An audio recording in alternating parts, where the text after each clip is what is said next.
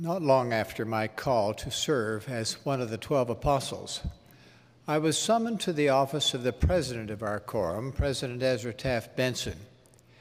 He expressed deep concern that members of the church have not fully appreciated the value of the Book of Mormon. With emotion in his voice, he read to me from the 84th section of the Doctrine and Covenants.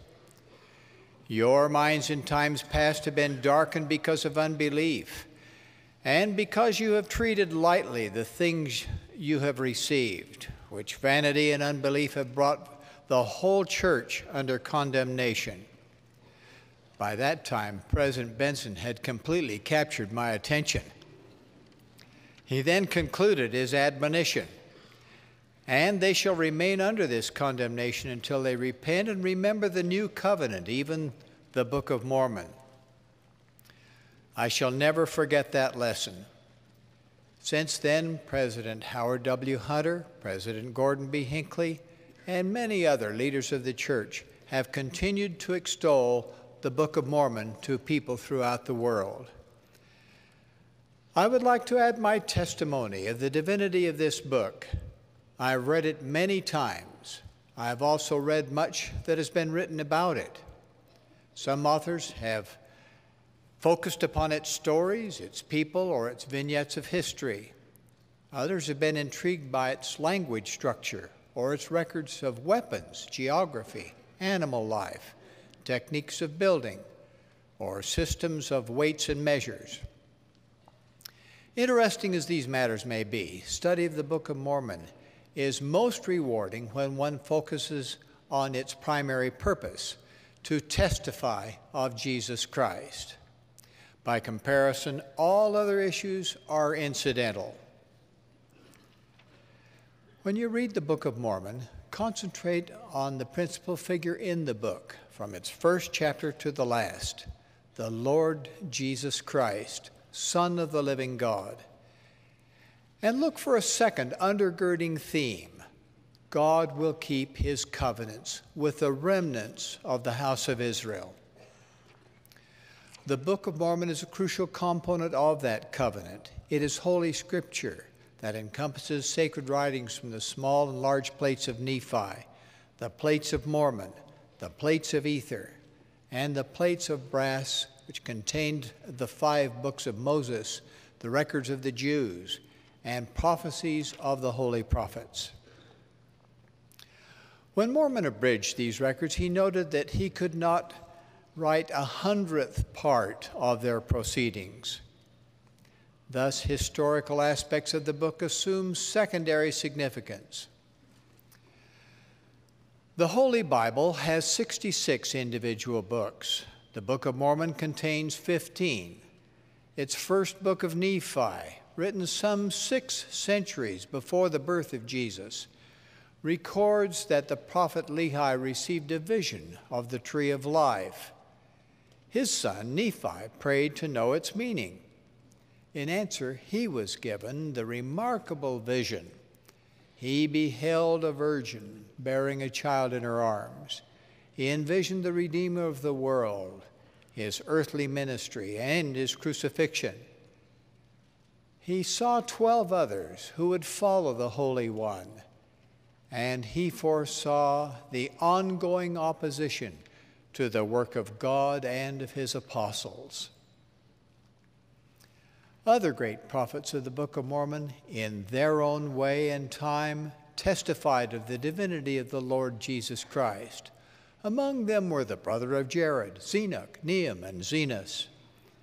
Testimonies of Jesus Christ that predated his birth in Bethlehem were also recorded from King Benjamin, Abinadi, Alma the Younger, Alma the elder, Amulek, the sons of Mosiah, Captain Moroni, the brothers Nephi and Lehi, and Samuel the Lamanite. In a seemingly endless sequence of prophetic proclamations, testimonies of all the holy prophets for a great many thousand years before his coming, the Book of Mormon makes the solemn declaration that Jesus is the Christ, our Savior and Redeemer. Most books contained in libraries of the world were authored for contemporary readers, and they were generally written for profit, with royalties accruing from successful sales.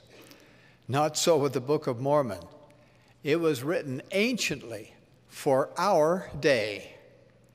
It reveals the endless lordship of Jesus Christ in accounts of two ancient American dispensations preserved for the benefit of us who live in this dispensation of the fullness of times. Certainly, no royalties accrued to its authors. In fact, they paid dearly for their privilege of participation. What motivated them? Their devotion to God. The book's four major writers, Nephi, Jacob, Mormon, and Moroni, were all eyewitnesses of the Lord, as was its martyred translator, the prophet Joseph Smith. Their writings centered upon the Lord, his mission, and his ministry. Jacob, for example, repeatedly referred to the atonement and resurrection of Christ. Beloved brethren, wrote Jacob, be reconciled unto God through the atonement of Christ, his only begotten Son, and ye may obtain a resurrection and be presented as the firstfruits of Christ unto God. And now, why not speak of the atonement of Christ and attain to a perfect knowledge of him and the knowledge of a resurrection in the world to come? Jacob's advice is priceless and timeless. The Savior declared that the Book of Mormon contains the fullness of his everlasting gospel. How did he define the gospel? The resurrected Lord taught, This is the gospel which I have given unto you, that I came into the world to do the will of my Father, because my Father sent me. Then he amplified that one sentence definition My Father sent me that I might be lifted up upon the cross. And after that I had been lifted up upon the cross, that I might draw all men unto me. This unique mortal mission of the Lord, the gospel as he defined it, we know as the atonement. The fullness of the gospel, therefore, connotes a fuller comprehension of the atonement. This we do not obtain from the Bible alone. The word atonement, in any of its forms, is mentioned only once in the King James Version of the New Testament. In the Book of Mormon, it appears 39 times. The Book of Mormon also contains more references to the resurrection than does the Bible.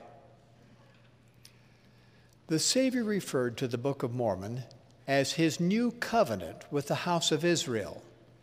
It is a tangible sign of Christ's culminating covenant with mankind. The divine teachings of this book, as a third testament, clarify doctrine and unify the Old Testament with the New Testament. Scriptural covenants testaments, and witnesses since the beginning of time relate to the atonement of Jesus Christ, the central act of all human history. The Book of Mormon is the most important religious text to be revealed from God to man since the writings of the New Testament were compiled nearly two millennia ago. Joseph Smith declared the Book of Mormon to be the most correct of any book on earth and the keystone of our religion.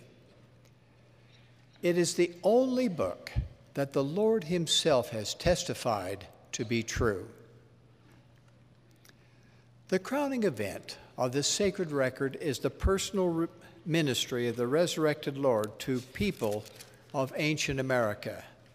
To them, he made this revelatory announcement Behold, I am Jesus Christ, the Son of God. I created the heavens and the earth, and all things that in them are. I was with the Father from the beginning. The scriptures concerning my coming are fulfilled. I am the light and the life of the world. Whoso cometh unto me with a broken heart and a contrite spirit, him will I baptize with fire and with the Holy Ghost. I have come unto the world to bring redemption unto the world, to save the world from sin. Therefore, whoso repenteth and cometh unto me as a little child, him will I receive, for of such is the kingdom of God. I have laid down my life and have taken it up again. Therefore, repent and come unto me and be saved.